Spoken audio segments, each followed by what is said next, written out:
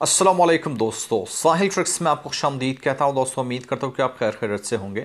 اور جس کا ہمیں ڈر تھا فائنلی سعودی عربیہ میں وہی پروسیس وہی سسٹم جو ہے وہ سٹارٹ ہو چکا ہے۔ اب دوستو، جو ویکسین لگوائے گا، اسے کام کرنے دیا جائے گا۔ سٹارٹ کون سے شعبے سے ہوا ہے، وہ آپ کے ساتھ آج کی ویڈیو میں شیئر کرتا چلوں۔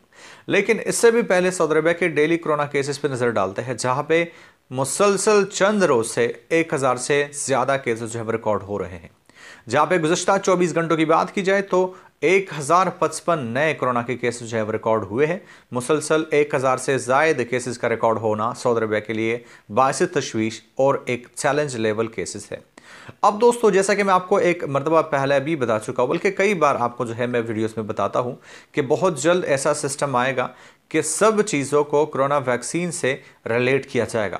مطلب اگر آپ کا کوئی بھی کام کرنا ہو تو آپ کو ویکسین لگوانا لازمی ہوگا، تبھی آپ کو جو ہے وہ کام کرنے دیا جائے گا۔ فی الحال کے لیے یہ پروسیس سٹارٹ ہوا ہے، لیکن ویڈیو کو آگے بڑھانے سے پہلے آپ سے ایک چوٹ سی ریکویسٹ ہے کہ سپورٹ کے لیے اس ویڈیو کو لائک کر لیجیے گا۔ لائک کرنا بالکل ہی فری ہے۔ اور اگر آپ سعودی عربیہ کے تمام تر اپڈیٹس حاصل کرنا چاہتے ہو، تو سبسکرائب کرو نوٹیفیکیشن بل پر کلک کر کے آل کو جو ہے سلیکٹ کر لو۔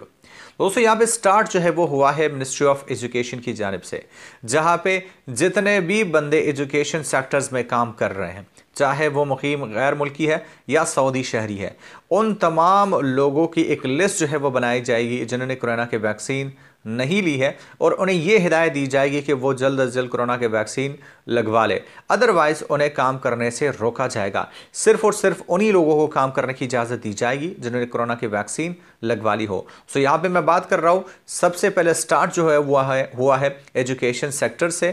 اور بعد میں اسے اور بھی سیکٹرز پہ اپلائی کیا جائے گا۔ دوستو، یہی کہ امپورٹنٹ اپڈیٹ آپ کے ساتھ شیئر کرنا چاہ رہا دوستو، امید کرتا کہ بات آپ کی سمجھ میں آ گئی ہوگی۔ ملتا آپ سے ایک نئے ویڈیو نئے اپڈیٹ کے ساتھ۔ تب تک لی دیجیے اجازت۔ اللہ حافظ۔ دوستو، اگر آپ بھی سعودی عربیہ میں مقیم ایک غیر ملکی پاکستانی ہے اور آپ بغیر کسی جھنجھٹ کے اپنا شناختی کارڈ اور پاسپورٹ رینیو کرنا چاہتے تو آپ کے لیے یہ بہترین موقع ہے۔